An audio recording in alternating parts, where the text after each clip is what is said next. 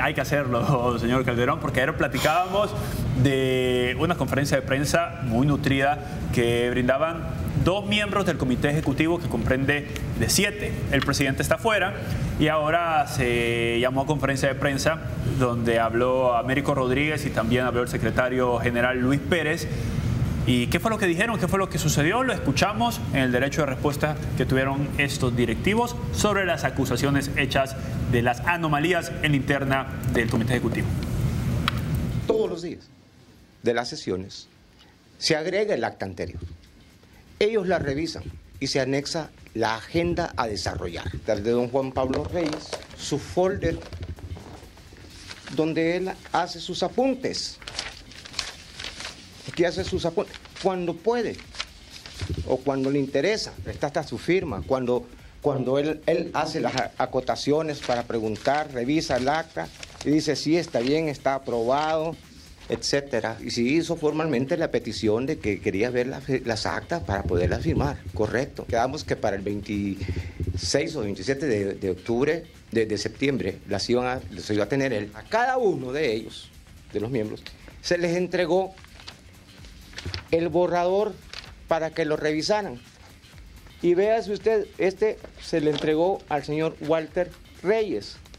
Y pueden notar ahí sus cheques donde él ha ido diciendo, revisémosla, ok, ok, hace sus apuntes.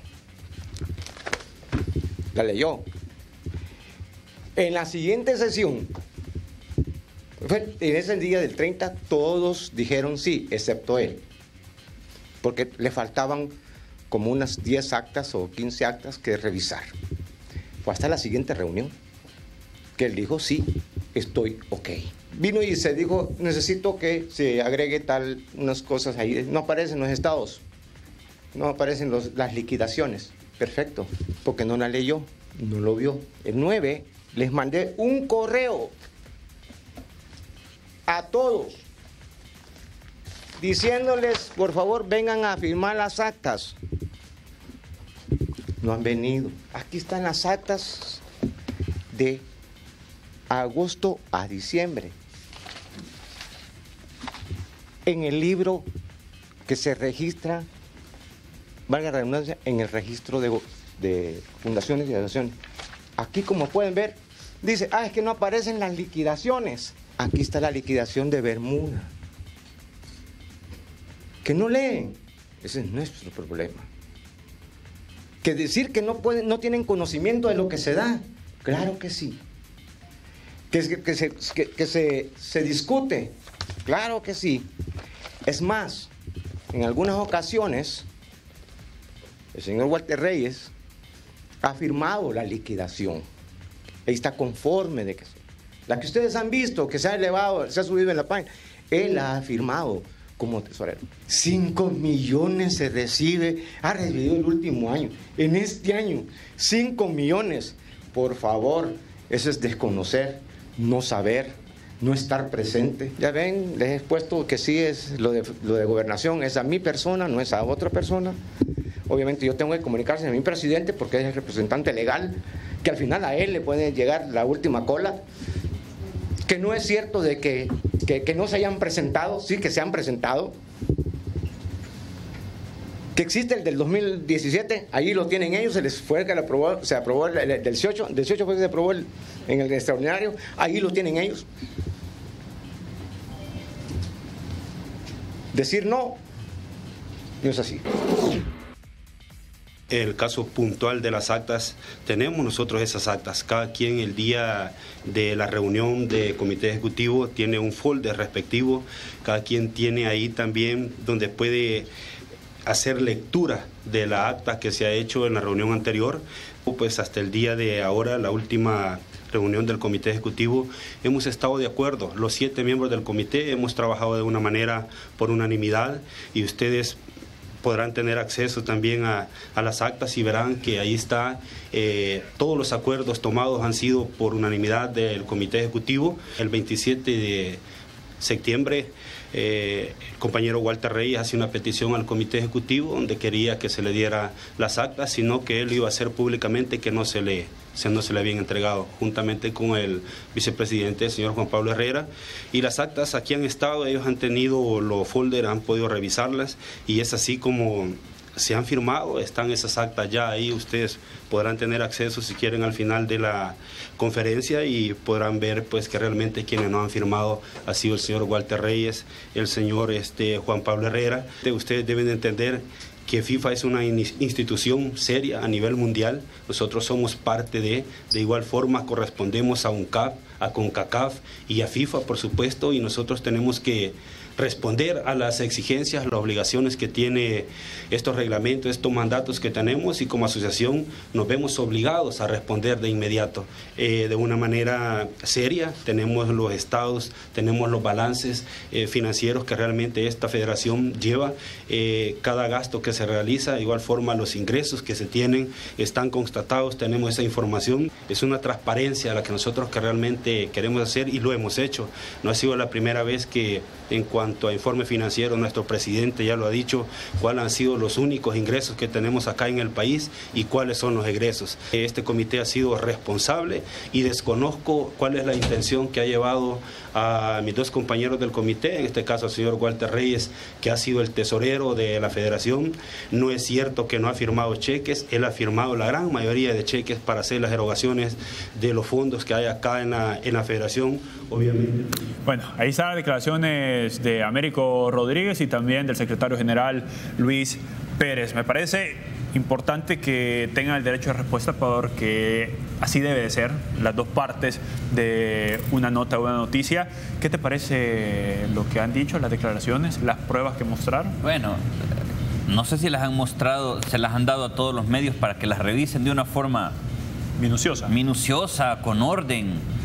Me extraña que se habla de transparencia y de responsabilidad, una institución que se ha caracterizado por no revelar informes financieros, por no revelar actas que deberían de ser eh, vista pública, que deberían de ser accesibles para todos, incluidos los medios, cualquier persona natural que ha pagado impuestos y que quisiera ver cómo se ha utilizado su dinero en la Federación Salvadoreña de Fútbol, no tiene el derecho según la federación. Se las han negado. Han recibido demandas por falta de transparencia han perdido demandas por falta de transparencia y siguen sin mostrar actas. Entonces, creo que hay mucha contradicción en la actitud de los directivos. ¿Y ahora a quién le creemos? Yo creo que es preocupante que ahora vamos a tener cada dos o tres días una conferencia de prensa de un directivo por aquí o por allá lanzándose acusaciones y acusaciones sin ningún tipo de argumentos, ninguna base. Eh, bueno, pero el secretario mostraba los cheques firmados. Sí, o sea, pero es, lo que mostraba ahí bien podía ser la libreta de Eugenio, por ejemplo. es, muy, valiosa, pero no se la presta a nadie, Eugenio. pero te digo, pero no, no si, acaso la pusiera a disposición de la prensa y uno pudiera revisarla, bueno, pero, pero no, te, no te muestras nada, no te demuestras nada. Yo creo que el fútbol nacional salvadoreño merece algo más que Chespirito enojado, tirando cuatro gritos ahí en una conferencia de prensa, solo porque le molestó que el día anterior el otro también, el otro Chespirito también le lanzó más eh, una. Lo que sí es importante y que probablemente el secretario general no se da cuenta, que lo que él eh, acepta es que gobernación le ha puesto 19 reparos a la, Federación Salvadoreña de Fútbol porque hay irregularidades en cuanto a sus acreditaciones, en cuanto a su inscripción, y en cuanto a su elección eh, y, otro tipo de irregularidades que, que, le ha hecho gobernación. Eso sí no se dio cuenta, pero sí lo aceptó. De que... ¿A quién le creemos, Eugenio? ¿A quién le creemos, señor López? ¿Con quién, quién ganará? Juan Pablo Herrera y Walter Reyes contra Luis Pérez y Américo Rodríguez. ¿A quién ¿Cómo va a quedar ese partido? Lo que está claro es que está ahí si hay división. Mira, los, cuatro, son miembros del, actual comité ejecutivo de la federación. Los cuatro trabajan en lo mismo hoy, el fútbol. Uno vicepresidente. Te lo voy a poner de la siguiente manera. Es como que nos dijeran a los salvadoreños a quién le crees hoy de los últimos dos partidos políticos que han gobernado este país. ¿Ah? ¿A quién le crees?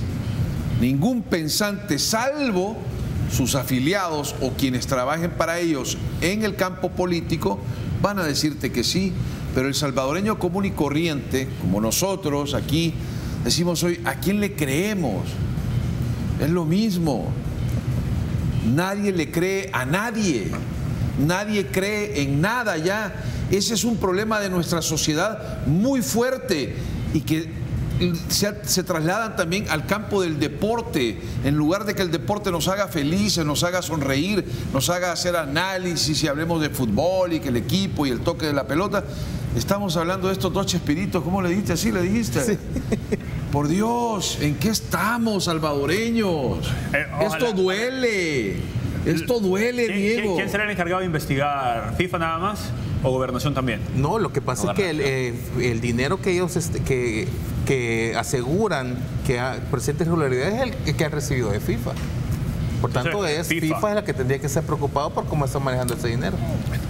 Habrá que esperar qué es lo que dice FIFA. Además que es una ONG y la ONG está adscrita al Ministerio de Gobernación y tiene que cumplir con cierto tipo de, de condiciones y circunstancias y requisitos, ¿no? Pues, solo, solamente el tiempo el, dirá. Hasta en el fútbol. No puede ser. Es un desorden. Yo creo que los acusa también su reputación. ¿eh? O sea, una, una, una institución que renunció a medio millón de dólares anuales porque no quería dar A ver, pero es, que, pero es que los acusa su reputación y me pongo a pensar enseguida lo de Juan Pablo Herrera y todos los líos que tiene con el Audaz Independiente y lo del secretario general también, que estuvo suspendido por este, o fue el comité ejecutivo pasado. ¿Quién fue? ¿Te acordás que estuvo suspendido? El secretario general, Ese, bueno. Por una firma estuvo suspendido. Ah, es cierto, tuvo una sanción. Tuvo una sanción. Por, por entregar unos carnets de una man- de- de, Exacto, manera de una incorrecta. manera incorrecta. Es decir, y al final vos decís, su reputación tampoco es como para Sí, creerle, pero, ¿no? pero, pero lo, que es, lo que presentaron ellos, lo que es concreto son las observaciones de gobernación. Bueno, habrá, Y, habrá que y no estamos hablando, Diego, y estamos hablando habrá que que que dice no es. Ah, seguí esperando vos, que como seguí que esperando a ver si tus jugadores juegan mejor. Quédate esperando ahí, estás muy cómoda la silla, aquí no te, te va a hacer nada, te podemos ofrecer hasta café toda la madrugada. Seguí esperando. O sea, Hace tres años este servidor y una enorme parte de la comunidad futbolera de este país estaba exigiendo un cambio. Y para eso teníamos que evitar que los mismos que han gobernado este fútbol durante no- muchos años se fuesen de ahí. Pero eso no es responsabilidad porque A ni ver. vos, ni Chelo, ni Sí, Rodro, ni yo votamos va. en Entonces, la. Los que están inmersos en ese cáncer llamado estructura del fútbol salvadoreño, donde hay varios colegas tuyos, por cierto, que se ponen a defender y a hablar cosas lindas de ellos, esos inclusive, mientras eso no se logre destruir, nuestro fútbol no va a caminar. ¿Ya? Eso es lo que tenemos que entender todos. Vamos a noviembre, a la doble, como tú dices, a ganar seis puntos. ¿Y qué hemos ganado? ¿Qué vamos a haber ganado en el año 2019? Dejemos hasta el tema federativo, el tema de selección nacional. Revisemos rápidamente la fecha FIFA. Podemos ver por lo menos el Suecia.